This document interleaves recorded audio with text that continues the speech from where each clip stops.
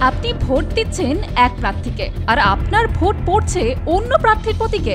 বুঝুন কাণ্ড বঙ্গ ভোটের যে অনেক রঙ্গ তা আমরা আগেই দেখেছি। তা বলে প্রার্থী নামও অদল বদল আরামবাগের মলয়পুর এক নম্বর গ্রাম পঞ্চায়েতের এই ঘটনায় বিস্মিত বিচারপতি অমৃতা সিনহা।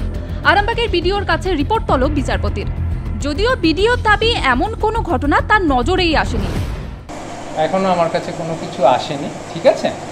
আর যতক্ষণ না আসছে ততক্ষণ পর্যন্ত তো আমি কিছু বলতে পারব না। আসলে পরে আমার কাছে কোন জায়গার আছে, কী ব্যাপার আছে সেটা দেখে আমি বলব।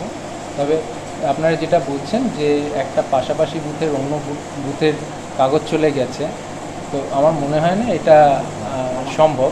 কেননা ওখানে পুরো ভোট হয়েছে, ভোটের সময় কোনো কিছু ইয়ে হলো না।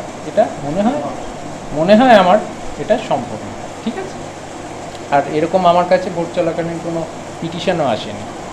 আর ব্যালট পেপার অতল বদলের ঘটনায় হাইকোর্টের দ্বারস্থ হয় বিজেপি। আরামবাগের বিজেপি বিধায়কের কি অভিযোগ শুনুন।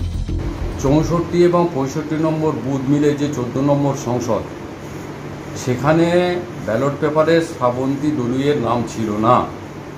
এবং পঞ্চায়েত সমিতির যিনি প্রার্থী চিন্ময় পোড়েলেরও নাম ছিল না। আমরা ভারতীয় জনতা পার্টির পক্ষ থেকে প্রিসাইডিং অফিসারকে আবেদন জানালেও আমাদের আবেদন অগ্রাহ্য করে সেদিন সিম্বলের উপরে ভোট হয়।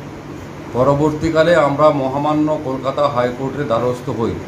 কলকাতা হাইকোর্ট আমাদের আবেদন মঞ্জুর করেছেন এবং আবেদনের শুনানিরও দিন ধার্য করেছেন।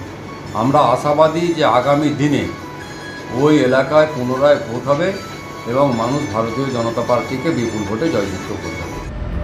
তবে পুরো বিষয়টিতে তৃণমূলের অবশ্য সাফাই। আমরা ওখানে দুশো একাশি ভোটে পঞ্চায়েতে আমরা জয়লাভ করেছি।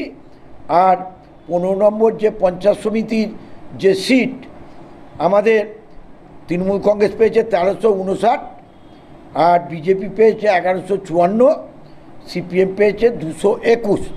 আমাদের ওখানে পিজুর সিট তৃণমূল কংগ্রেসের ছিল দুশো পাঁচ ভোটে, ওখানে আমরা জয়লাভ করেছি। নিয়ে তো আমাদের জানার কথা না কোর্টে যখন বলেছে ওটা কোর্টের ব্যাপার, ওখানে আইনের ব্যাপার তো আমাদের কোনো কথা বলার অধিকার নাই।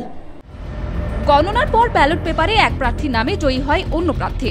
গ্রামের ভোটে এত দুর্নীতি, যা শুনে রীতিমতো স্তম্ভিত বিচারপতি।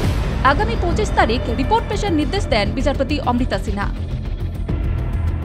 আরামবাগ থেকে পিন্টু লাগা রিপোর্ট, নিউজ বর্তমান।